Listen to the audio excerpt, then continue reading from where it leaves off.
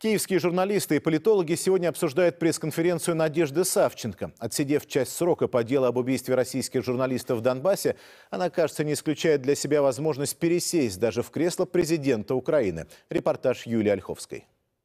Надежда Савченко сегодня в эфирах всех киевских телеканалов и на обложках всех местных журналов и газет. Фотографии и заголовки недвусмысленно намекают на амбиции украинской наводчицы, которая сама себя почему-то упорно называет летчицей, несмотря на отсутствие нужного образования. Она закончила Харьковский университет воздушных сил по специальности «штурман».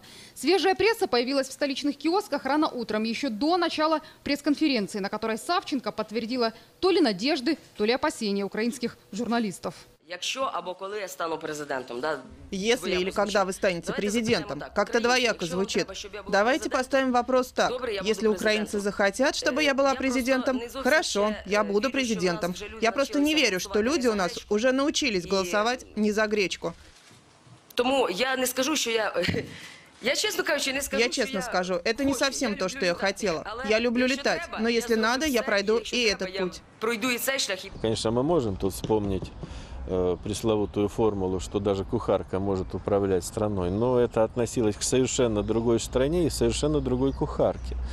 Со своим же образованием и навыками, ну, Савченко может претендовать там на руководство каким-то ЖЭКом, но я думаю, не более того.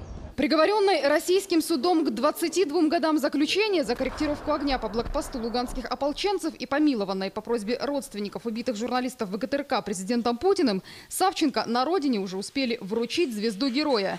Местные журналисты теперь следят за каждым шагом освобожденной, даже снимают на скрытую камеру, где она и с кем. И отмечают, что помимо президента Порошенко, радости от возвращения украинки на родину никто из представителей политической элиты, в общем-то, не выразил. Они своими заявлениями, вот если бы их послушать, да, такое было впечатление, что создавали все, чтобы Савченко как можно дольше пребывала за гратами и была вот за рубежом такой иконой, ну, ну там, да, в тюрьме, но не в Украине. А вот Савченко как, политик, как человек здесь и как некий политик, это абсолютно для них а, новая ситуация. Они до конца еще, мне кажется, не Юлия Тимошенко, не Пет- не Петр Порошенко, а не другие политики до конца еще не выработали стратегии, что с ней делать. Первую после освобождения встречу депутата от «Батькивщины» Савченко с лидером партии Юлией Тимошенко теплой явно не назовешь. Обниматься Надежда отказалась, лишь пожала руку. А из короткого диалога двух самых распиаренных на Украине женщин можно сделать вывод, что обстановка в Верховной Раде теперь накалится еще больше.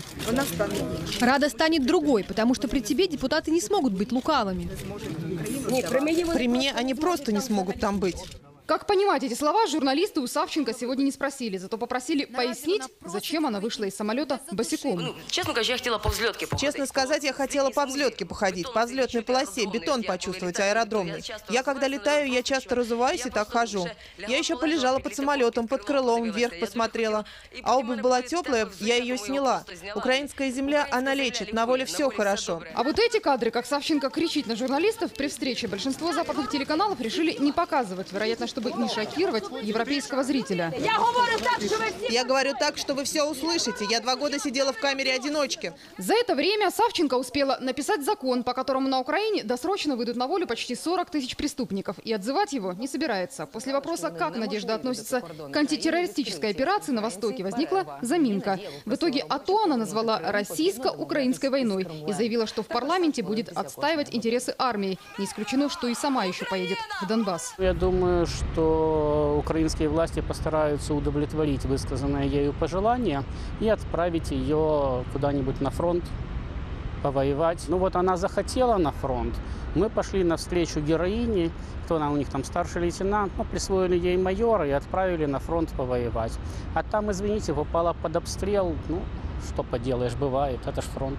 Неизвестно, ждут ли Надежду Савченко на фронте, а вот в Страсбурге точно ждут. Уже в июне она поедет на заседание парламентской ассамблеи Совета Европы. А пока осваивается в Верховной Раде. На экскурсию в украинский парламент Савченко пришла босиком. Ей показали, как записываться на выступления, а их, очевидно, будет немало, какие кнопки нажимать при голосовании и как включать микрофон. В следующий вторник у народного депутата Украины Надежды Савченко первый рабочий день. Юлия Ольховская, Анаток и Артем Тихонов. Первый канал. Киев.